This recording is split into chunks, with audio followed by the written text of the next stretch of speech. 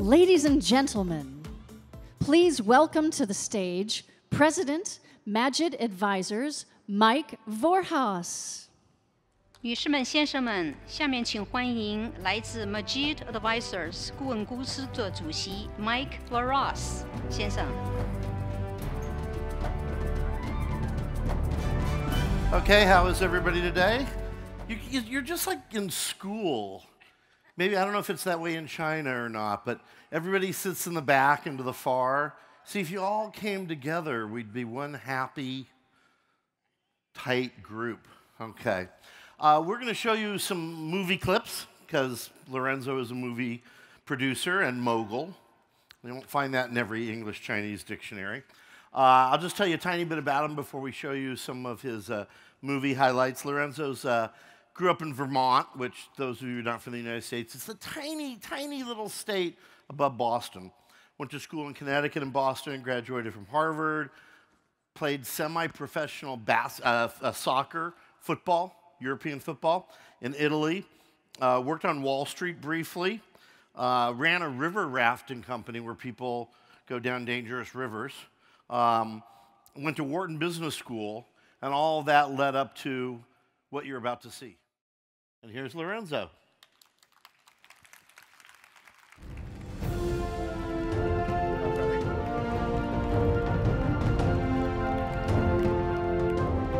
Okay, so um, tell us the backstory.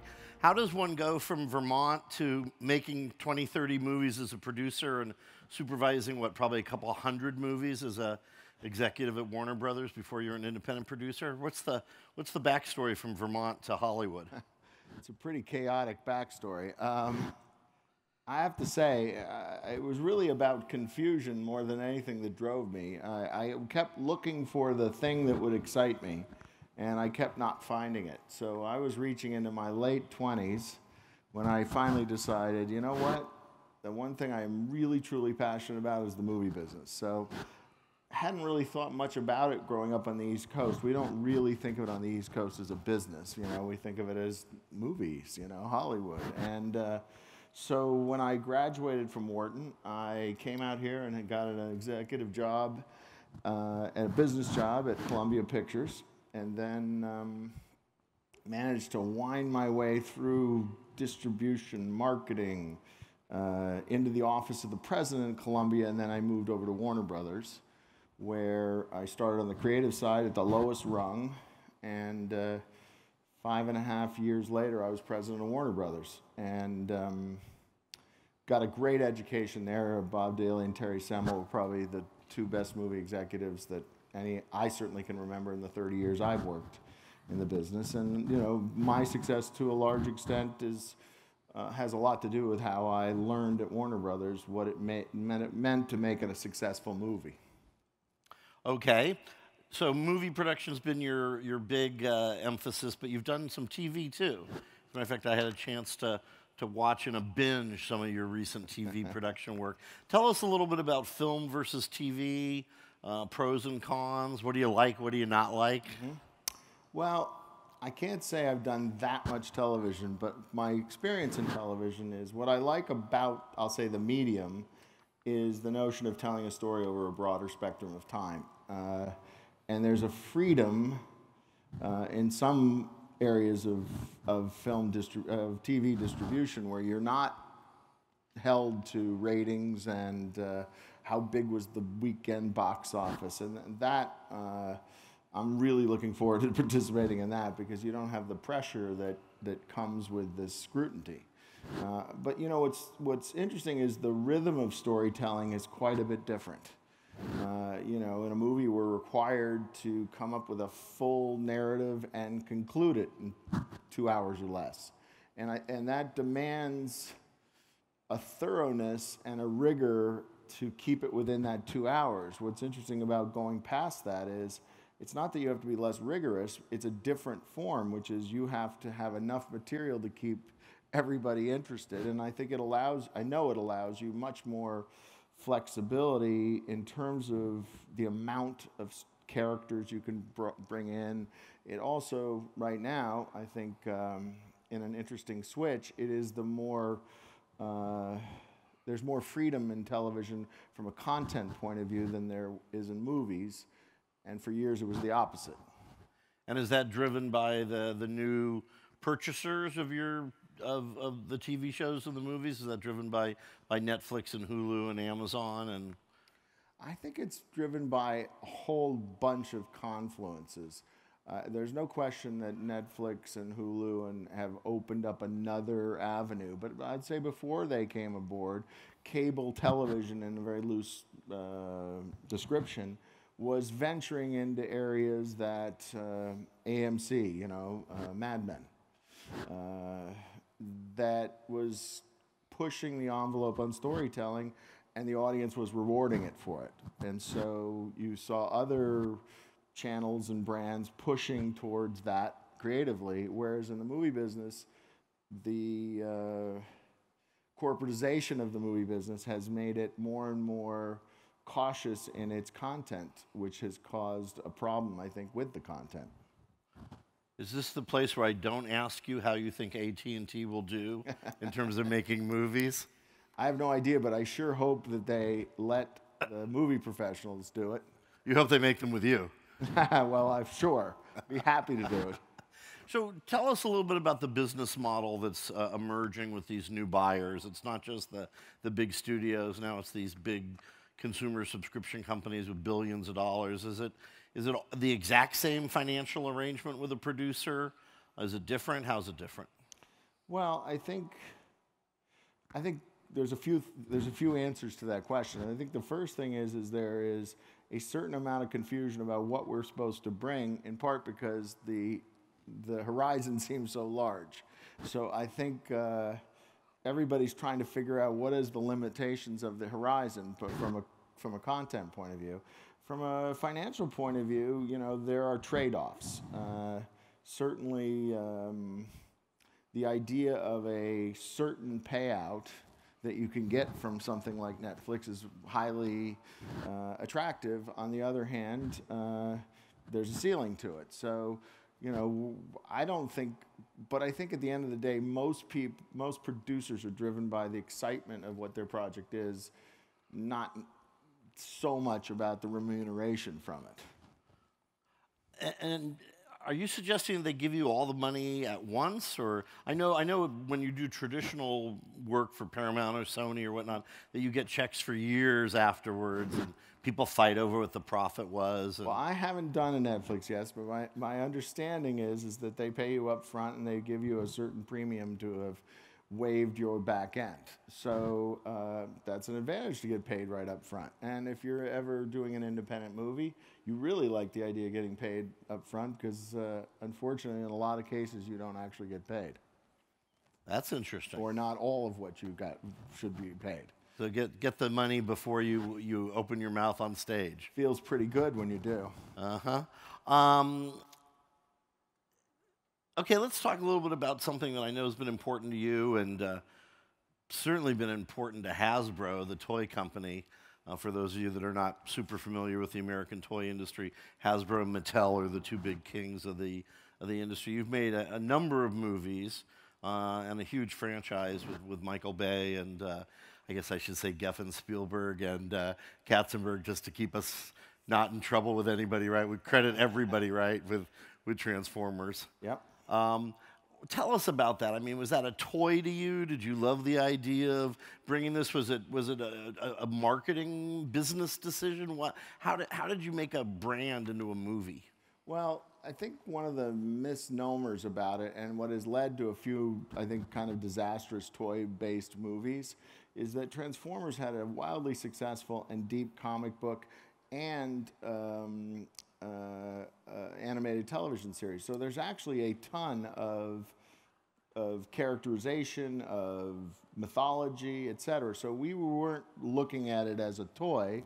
We were looking at it as okay. There's this pretty extensive mythology. Does it transfer to film? We thought it did.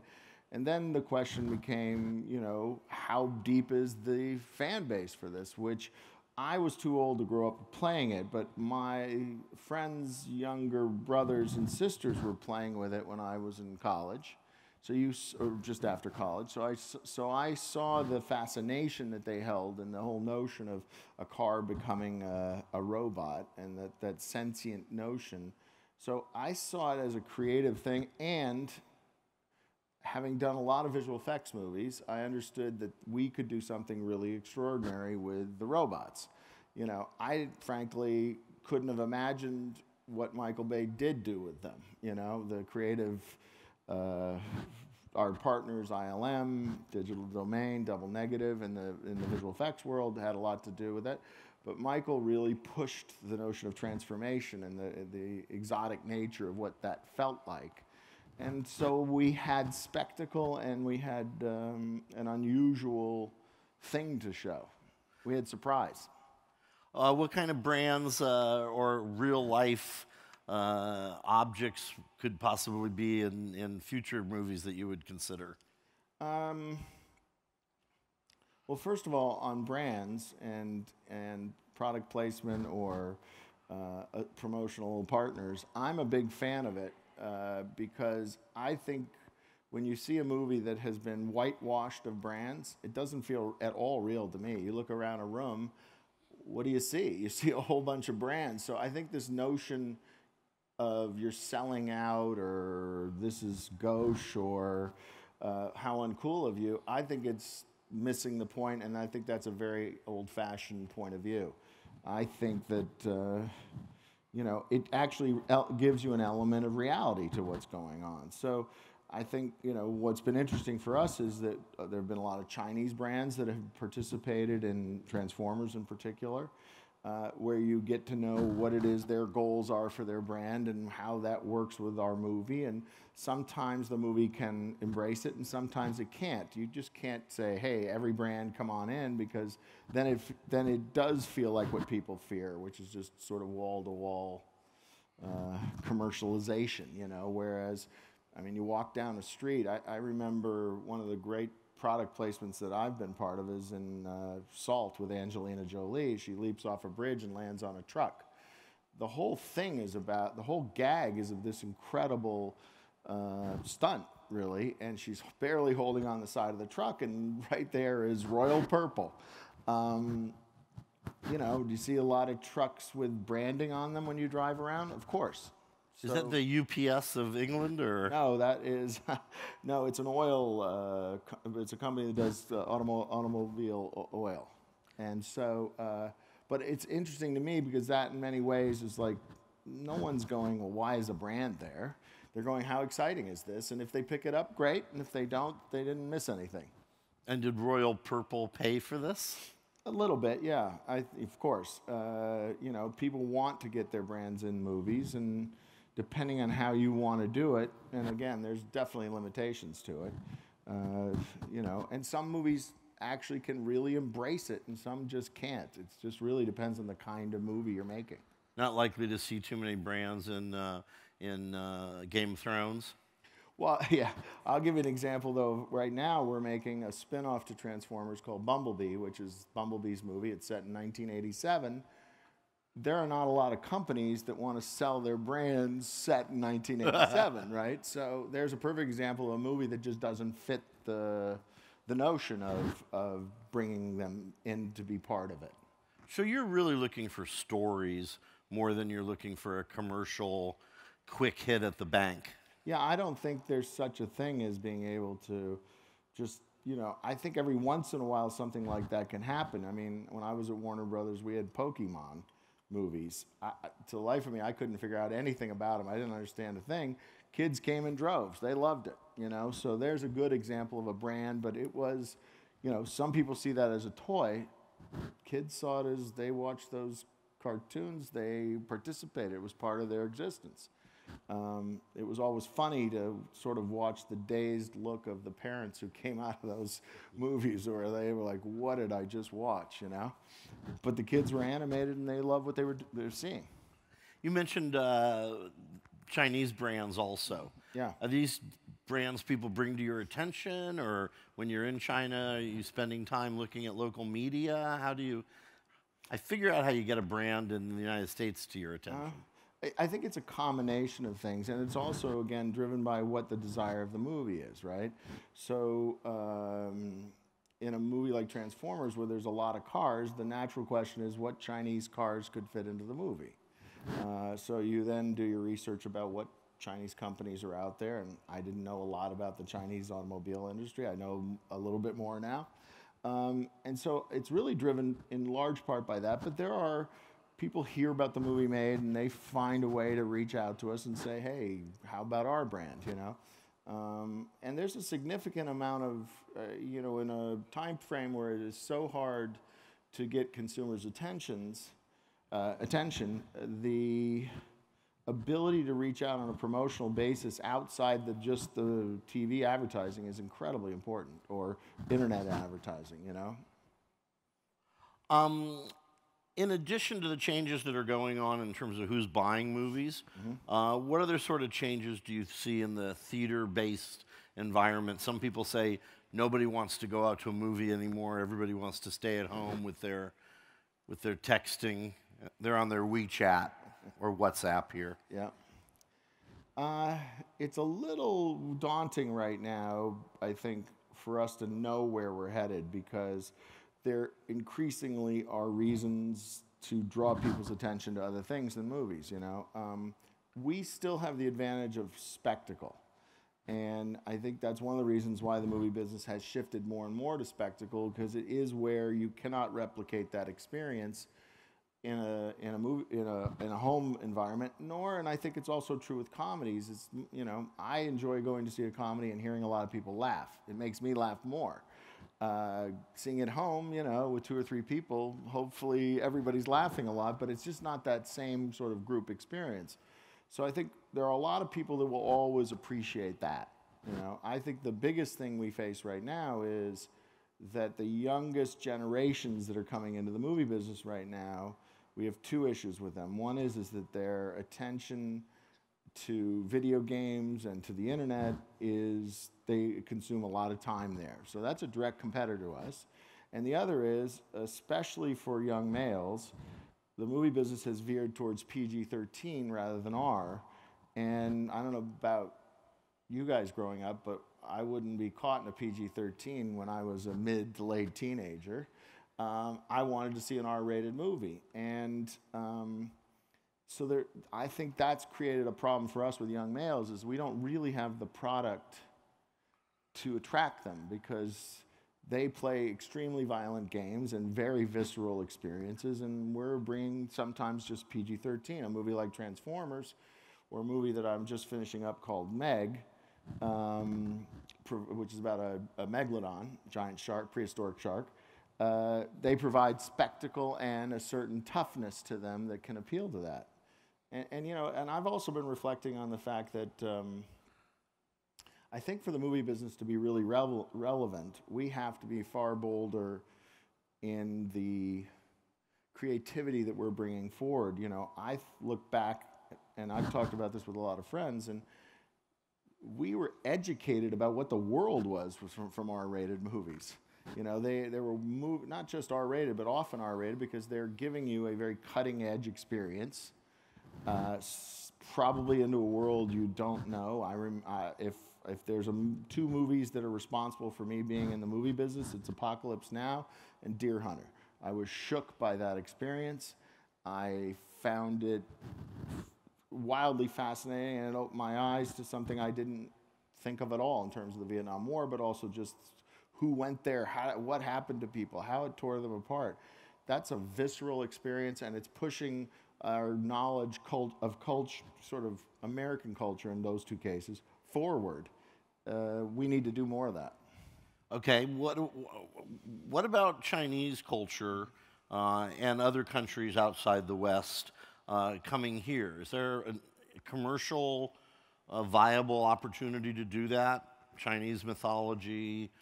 I think, uh, I think the, the, the transition point right now where there are a lot of co-productions starting to be seen. This, the, we're working, I've worked on two, and I'm working on a potential third right now. And what's tricky about it is, is that there are some mythologies and some uh, cultural values that are really similar across any culture. You know, uh, to a certain degree, bravery, heroism, they're pretty monolithic when you come down to it. But then you get to very specific things within certain cultures that are so different. You know, for instance, uh, I have been approached several times to make to by Chinese uh, companies to produce a version of the Monkey King. Uh, I've read the Monkey King. It's an incredible mythology. I don't understand it at all. As a as a Western storytelling thing, there is the lead character is able to keep transforming into whatever he needs to do, from my perspective, and therefore it loses jeopardy. So that's a thing, and just as I'm, you know, certain American comedies and certain American cultural things have nothing in relationship to China. So I think the key to the co-productions, or I'll even just say working together in the film business, is finding those projects where the cultural overlap is so clear and to steer clear of the ones that it isn't, because there are some that will never be right for both audiences. There'll be a lot that's right for, for both audiences, but there'll be some that won't work. And this, um, your involvement with China and this role of, of, of uh, Chinese uh, filmmakers and Chinese finance, is this a new thing of five or 10 years? Did this exist 20 years ago? Oh, it's a pretty new thing. I, I went to China uh, when we were beginning Transformers 2. So that's probably eight or nine years ago. Uh, that's the first time I really had heard anybody in our business talking about China as a real important aspect to what it is we were doing. I'm sure other people were, but it wasn't in my um, uh, experience. And going over to China, you began to see things that were, you know, you had to learn partly how to act because it is a different cultural demands.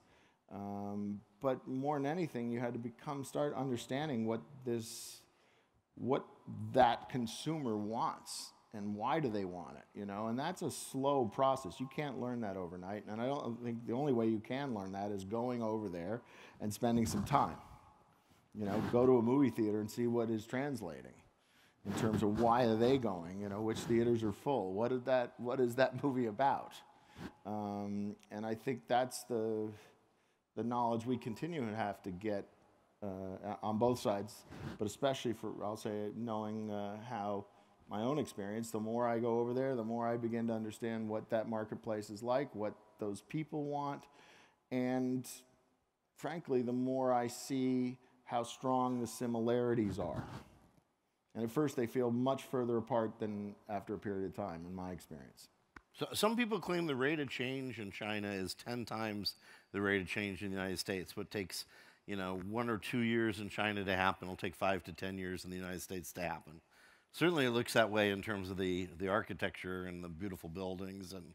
Well, they certainly, you know, I, uh, well, as a as a as a government for a long time, change was not embraced. Since they've changed, embraced change, they're moving much quicker. It doesn't surprise me they're moving quicker than us. They have some ground to catch up on some levels, but also uh, it is a professed desire of the establishment, if you would, as opposed to the isolationism that's going on in our country.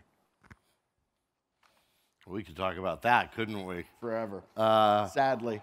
Well, I, I, I feel there's something appropriate with the, the next question uh, uh, now that you referred to our. Uh, he is president of the United States still, right? I, I'm not sure who you're talking about. Okay. so tell me about virtual reality. Well, you know, it's funny. Uh, uh, virtual reality has come through Hollywood at least three times since I've started. Um, it's going to be the next big thing. It's going to be the next big thing. I have to say, after the two times when it wasn't the big, next big thing, I had a lot of skepticism this time. Uh, I have to say also that having now experienced VR and it's how sophisticated it's become and how much you could see it growing, I think it's here to stay for the first time. Uh, certainly, I believe that. You know, and um, I've had the opportunity to play video games with my boys, and uh, it's a whole different experience. Um, it is visceral. It is you, you can unbalance yourself physically. Uh, it really is a participation on a physical and mental level. And so, the visual, uh, the um, quantity of content right now is not that much, but you could see, given its possibilities, that that's going to catch up real fast. And you know, I think the question becomes, for the film industry, is is there a way to replicate that in a movie theater? And I, I can't puzzle that out right now. I don't. I, I think we have to understand it a little bit more. Um, in a minute, we're going to show uh, some uh, footage from uh, from uh, some of your Transformers uh, uh, shooting that you did in China. Mm-hmm. Can you tell us a little bit about what it was like shooting in China, and maybe just explain for us what we're about to see? Mm-hmm. Uh, well, I've now done it twice. Um, the first time was the great unknown. Uh, the second time was a little more comfortable because I had understood some of the experience of it. And also, interestingly enough, the difference in the crew from the first movie, first time I did it to the second time, was quite different. And not this is not a good or bad uh, thing. It is they had learned aspects of how we made film, so the integration was easier. The first time, the integration was very difficult. We were saying black and they were thinking white, and vice versa. And it was one of the big lessons about uh, cultural differentiations is how you presented information to a U.S. crew that you did every day of every movie, if you did exactly the same thing in certain circumstances with a Chinese crew, you were insulting them without having any knowledge that you were insulting them. So one of the examples that I have is is that um, you know on every movie, as far as I know, from, since the beginning of movie making, there is a thing called a call sheet, and we issue it. And if it's on location, on the back of it, there's a map. And we found the first two times we went on location in China, it was havoc because nobody, uh, you know, some people would arrive at the right time, some people would arrive an hour later, some two hours later, some three hours later, which really was causing a problem. And we found out that however we had communicated this, and, and it's still not entirely clear to me how they came to this conclusion, but the drivers saw it as we were saying to them, We Americans know where you're going, you don't know where you're going, here's the map. So they tore it up. But the problem was a lot of them didn't know where they were going. So they had felt disrespected by us, but we couldn't have imagined that that would be the reaction to a call sheet. So, you know, so you, so you go through something like that and you suddenly go, okay, you know what, we have to be really careful about understanding the delivery of information, not just, you know, the cultural aspect of it. So uh, the second time I, I did just not uh, just last year actually in Sanya Bay, um, I found the Chinese crew had clearly learned a lot about how we do business, just as we learned from them. It just made it a lot easier. We uh, knew more how they worked, they knew more how we worked, and it was much quicker and much easier on everybody. Do you find more uh, English spoken by the Chinese each time you've been? Um, you know, have, finding people who speak English in China is really easy. Uh, it really is. Now, that said, when you go, we went um, to a national park, Wulong, and you are going, you know, deeper into the country. There, you start running into a lot of people who don't speak English. Did you guys have any Mandarin speakers with you na- natively, or, or just translators? We had both. Okay, let's look at uh, some uh, beautiful fo- footage shot in China uh, by uh, Lorenzo's crew. All right. Very beautiful. Um, so that's a, a, beautiful example of the sort of creative work that movie makers like you uh, undertake. Uh, there's a lot of people involved. You've got a director. Luckily, there's no, there's not too many co-directors, right? No, there's only one director on our movie. But, uh, you know what's interesting about it is, as I look at it, what's interesting about it is, is that we've shot probably in China, you know, I'm going to say eight or nine locations in Beijing. Then we went to the Great Wall. Then we went to Tianjin. Then we were in Wulong. We, then we were um, in Hong Kong, obviously there. And there are several things about it you know, the, like in every country, the further you get away from the center, the harder it is to mount your production, just like the United States. Um, but there are certain things that resonate for the Chinese audience that don't resonate for us necessarily. So, for instance, in the casting, in there you saw you saw the guy in the car with the guitar. He is a major uh, music star uh, named Han Geng. And so for the Chinese audience, they're like, oh, he's in the movie, then that's fun. Most of us don't recognize him. Just as the, the, the unassuming guy in the elevator comes out and starts punching the hell out of the much bigger guy, was the um, first uh, boxing gold medalist for China uh, named uh, Zou Shiming. And, you know, he is a national hero for being that. And so for the Chinese audience, they loved that. Just as we have certain things that we're going to relate to and respond to that won't mean anything to them. Um, so I know you get a lot of opinions from the studios and from uh, your partners in production. Um, how have you found that to be in China? You, do you get more input from your co-production? And explain to us how a co-production works in general uh, in China and the U.S. Uh, well, I, it probably depends on your partners and how much you're in sync, first of all. Um, you know, I've had two really good experiences, and I'm in the beginning of a third one that seems to be going really well. Um, the first thing is is that you have to get out of way, way quickly, understanding what each side is really, really wants and expects of this. So uh, you do get another set of notes. That is frustrating. You know, we're all getting a lot of notes in Hollywood from a lot of different entities. So yes, you do have another one. On top of that, you do have censorship in China, and uh, so there's a criteria that is not easy to know. You can guess at it, and the more you experience it, the more you have a sense of what can pass muster and what can't. But you're guessing to some extent, and your co producing partner can help you a lot with that. Um, uh, and, and, you know, the sensitivities of each place, you can really help. Uh, there were certain things when we were shooting in Hong Kong, for instance, that they did not want to see the Hong Kong police be shamed, if you would. So they are very heroic in the movie, you know. And by the way, that fit the movie, so we, we didn't have to bend it for that.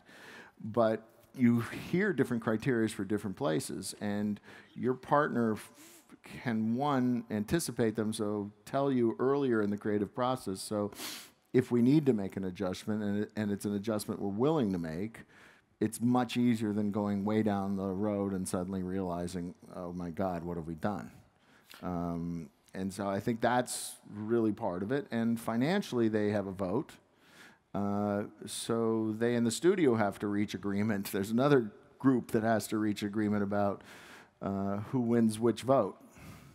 And this happens early in the process. I mean, when the script is first uh, uh, finished, you, you distribute it to your partners. And it happens all the way through it. It really does. Every day there's more input. There is. And uh, eh, there's pretty much specific stages where you get the most. In the script development, you get a lot. In the editorial, you get a lot. When you're shooting, not so much, because you've sort of agreed on what you're going to go do.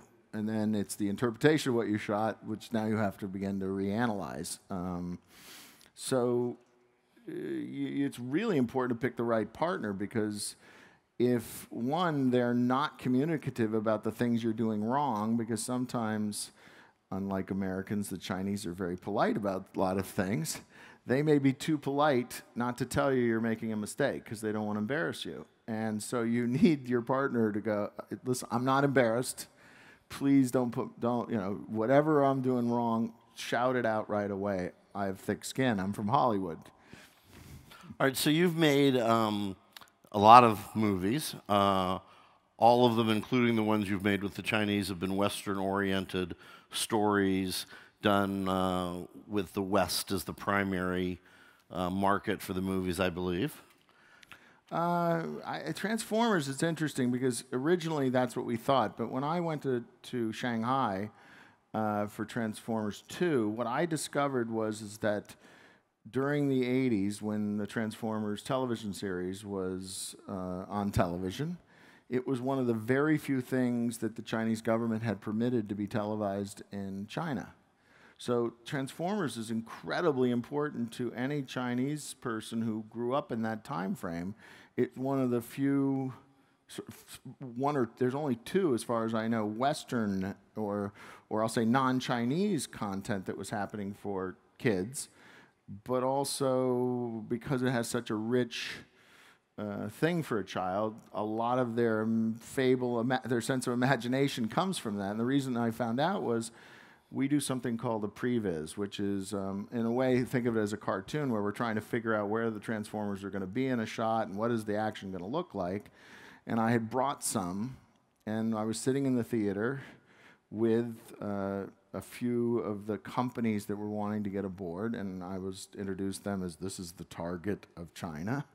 And I was sitting with the CMO and the, and the CEO, and I noticed there were tears in their eyes as they're watching this, which was like, what could they possibly be crying about? We're watching a, a robot smashing into each other, you know? Um, and that's when they told me after the fact how much it meant to them because it was such an important component of their childhood. How could you know that, one? And two, the result of that was partly why we got to a co production with them was because we understood just how significant it was for that culture.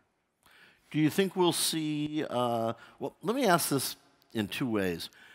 Are there movies that those of us who love stories and love movies are missing because we don't speak Mandarin or American companies aren't bringing those movies over today. I see these hundreds of millions of dollars every week being spent by Chinese consumers on movies or you know, I, you know, I, I think of uh, the Crouching Tiger. I don't know if that was a, a Japanese uh, production or Chinese. Yeah, but that, that was a worldwide hit for sure. Uh, there's a lot of movies that we'll never see. It's very hard. I mean, especially if you don't speak Mandarin or Cantonese, depending on where it's made. Uh, that are not subtitled, so you're out of luck. You know, it's like French movies. There's some that just aren't. You know, and if you don't speak French, you're in trouble. So, um, you know, I'm sure there are, and I've tried to educate myself as much as I can, and I'm sure I just know the tip of the iceberg. Um, and I do think there are certain kinds of stories that are going to translate to each side equally well. It seems the hand to hand combat something that you seem to have in most of your movies. yeah, uh, well, seems pretty popular in both the East and the West. It's certainly quick to understand who's the good guy and who's the bad guy. uh, we're going to uh, talk a little bit about your upcoming movie. Uh, but before we do that, and then we will take a few questions from the audience if we have time. Uh, but before we do that, let me ask you a um, more of a policy question. Let's pretend you were king of Hollywood uh, and or king of the United States. Uh, how can the U.S. and China cooperate in the film and TV area? What can be done to get both sides to feel more uh, excited about cooperation in film and TV making? I think it's happening, actually. I think it's stopping and starting because there are hard lessons to be learned. And I think the only thing we can do is try to accelerate the pace of it because the more we do it, the more we're going to get more refined at it. Um, I think there's a real appetite on both sides to understand what the other wants and how to get about it. But that takes time to develop that sense of trust with one another, and it takes time to sort of make some mistakes. And I think we will see, unfortunately, we will see some bad co production movies because they don't. They didn't get it right about what it is that's universal about a movie story and you'll see some really good ones because they got it. And so that lesson, like every lesson, and uh, sadly, is you have to fail some to get it right. Um, that's in the process happening right now. Okay. Uh, so if you've made 20, 25 movies as a producer, uh, how many scripts have you read? I have no idea. More than 10,000? Probably. More than 100,000? No, no, no. Probably around Probably 10 or 20,000 scripts. And how, how long does the process take? I mean, for instance, this movie you have coming up. Uh, how, how many years has that movie been on your uh, to develop on your on your desk? Uh, that movie, this movie, we're talking about Only Yeah. the Brave. Only the Brave, which is coming out tomorrow. Um, started from my experience. I'd heard some things on the news about this story, and then I had read an article, and one of the people in my company had read an article uh, in GQ about this story. So we inquired about it. We ended up partnering with Condé Nast, which is the pub has is the publisher.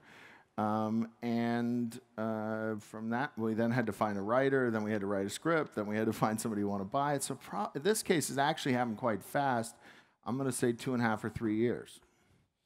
Was Matrix the longest process you ever went through? No, no. Matrix was about six years, and you know, uh, I made a movie uh, uh, this last year, American Assassin. It was nine and a half or ten years. All right, tell us uh, about uh, Only the Brave, and then we'll watch a trailer uh, for your movie opening tomorrow. Well, what's great about this story is it's really a celebration of who these men and women and their families are. Uh, what's interesting, it, there is some tragedy in this story, but what is interesting as we got into this story more and more, it became more and more about the people. And so this movie is amazingly uplifting. Uh, and you can see by the level of cast we attracted, the story is very compelling and the characters are very compelling. And as a result, the movie kept elevating itself. And um, that's a great example of like we had a really good script and we attracted a good director.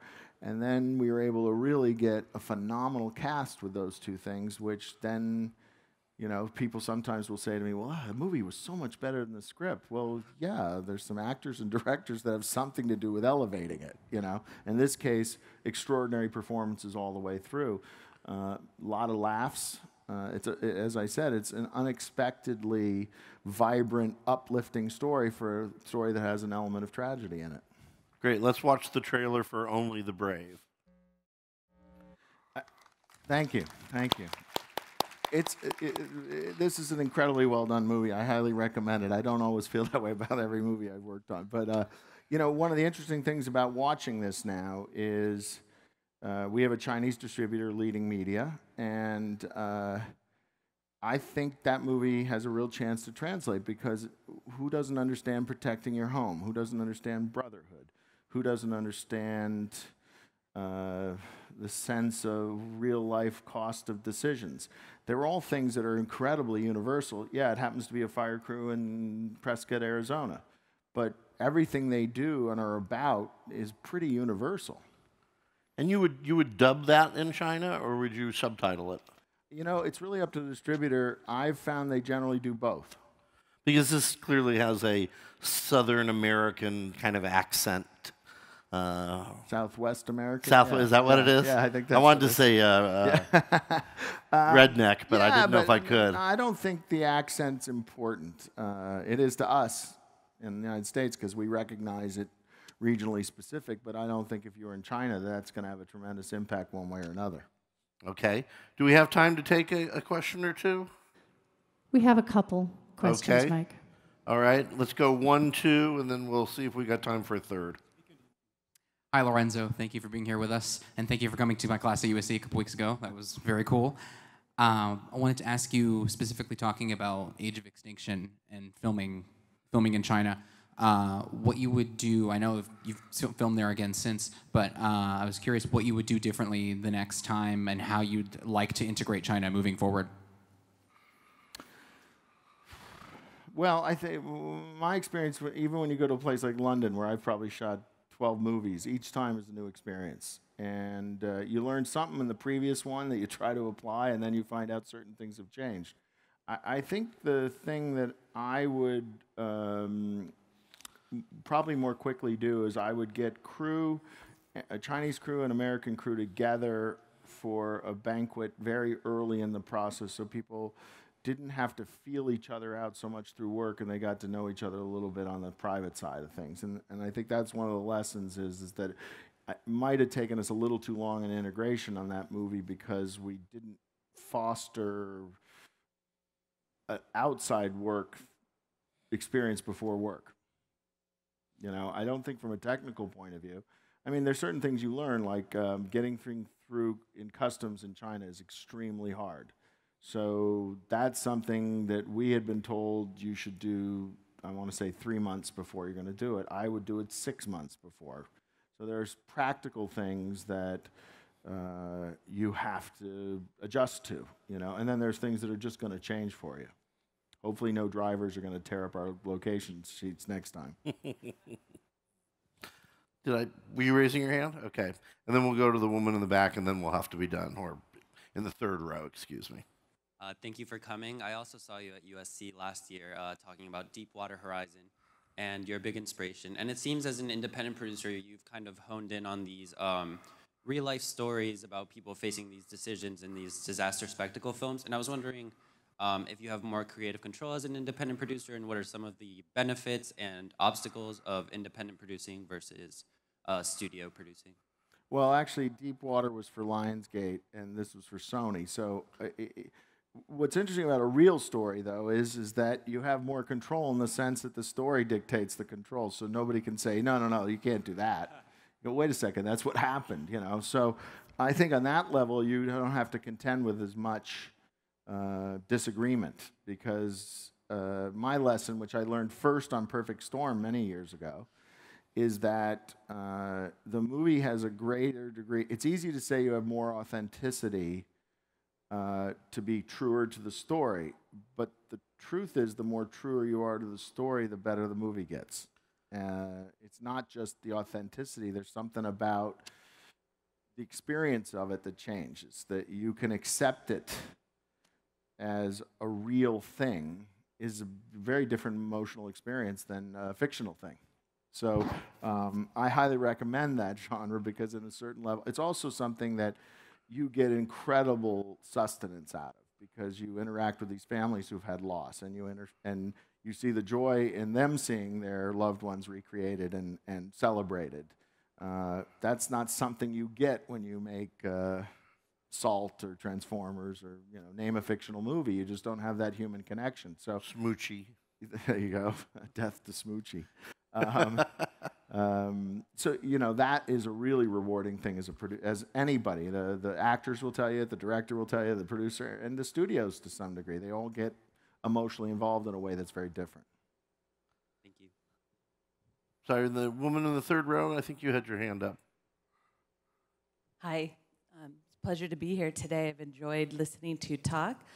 Uh, one of the things you we haven't talked about is the music component to your films and how you choose a composer, um, how important the music is to your product, and have you ever collaborated with a Chinese composer?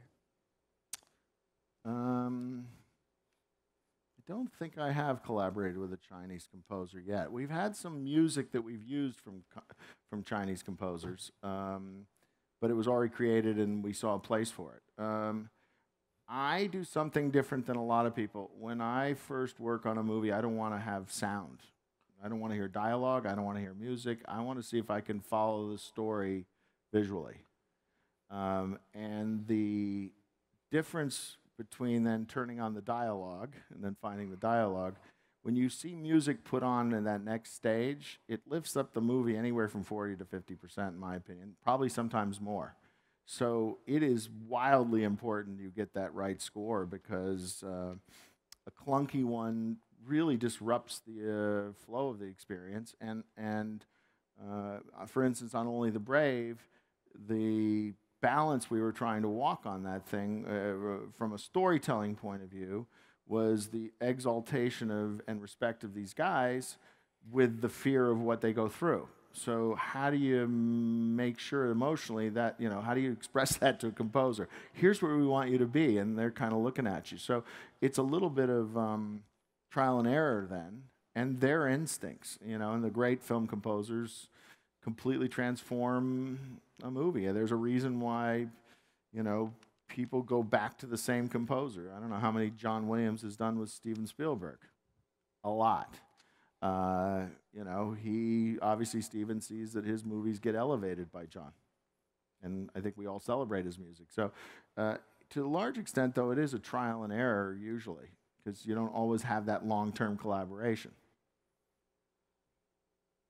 Okay. There's one right Okay. What? Well, They're going to cut us off at one point, but go ahead. You you seem eager. Can we get the microphone back to you, though? Okay. Go for it. We're listening carefully. Okay, so I, I heard that it was due to some logistical uh, measures that you had to build a segment of uh, Detroit, Michigan to appear like China. Yep. And um, so my question is, does that happen often, A? And B, when these things happen, do you look for cities in America that are economically repressed that would truly benefit from the influx of the movie production budget? I'll answer the second first, which is we would love that to be, and it is part of the criteria, but the city does have to double for the other city. So, you know, we do, you know, we made a big effort post Katrina to get down to New Orleans on a picture. Um, uh, when we did Deepwater Horizon, that, that community had suffered a great deal from that devastation. And we felt we owed it to them, even though there was a place we could have shot for a little less money. We felt like that would be wrong not to go. So sometimes you can mix those things.